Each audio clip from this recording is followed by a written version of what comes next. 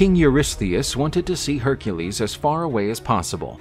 In the tenth labor, the hero was to steal the cattle of the giant Geryon.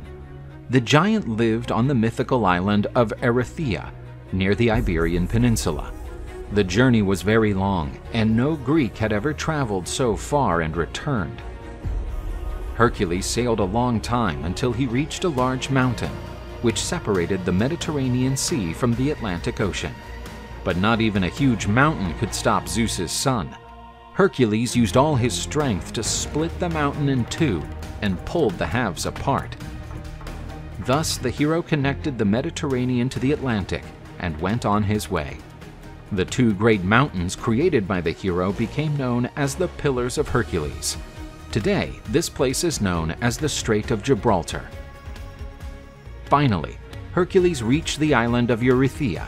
No Greek had ever dared to approach the oxen of the giant son of Chrysaor, for Geryon was a hideous creature that had several bodies in one.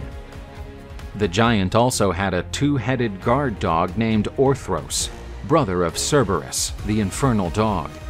Hercules fought the dog, which, besides having two heads, had a serpent's tail. But not all this ferocity was an obstacle for Hercules. He slaughtered the dog son of Echidna with his mighty club.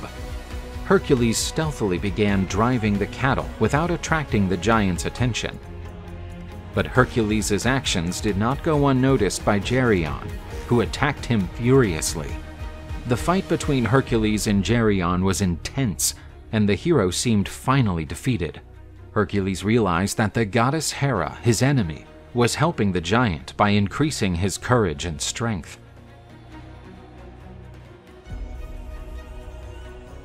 Hercules used his bow to shoot an arrow at the goddess. She, wounded, fled to Olympus. The demigod took one of his special arrows, soaked with Hydra's poisonous blood.